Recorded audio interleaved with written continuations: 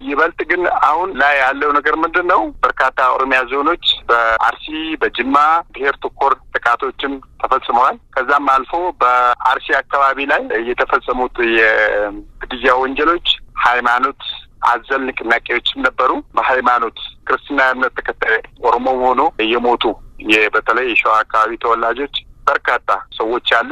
በምስራቅ አርሲ አካባቢ ላይ ለምሳሌ ባነሳለ ሰላሳ አምስት ሰዎች ናቸው የሞቱ። ከሰላሳ አምስት ሰዎች መካከል ሀያ ሁለቱ የሸዋ ኦሮሞ ተወላጆች ናቸው ክርስቲያኖች በመሆናቸው የተገደሉ። ከዚህ መካከል አስራ ሶስቱ የአማራ የደቡብ ክልል ተወላጆች መሆናቸውን አረጋግጠናል።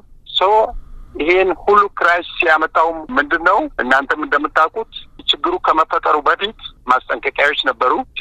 ከመፈጠሩ በፊት ጥሪዎች ነበሩ። ይህንን ችግር ለመፍጠር እንደተዘጋጁ በበቂ ሁኔታ በሚዲያም ሳይቀር ጦርነት ሲያውጁ የነበሩ ሰዎች ናቸው እንግዲህ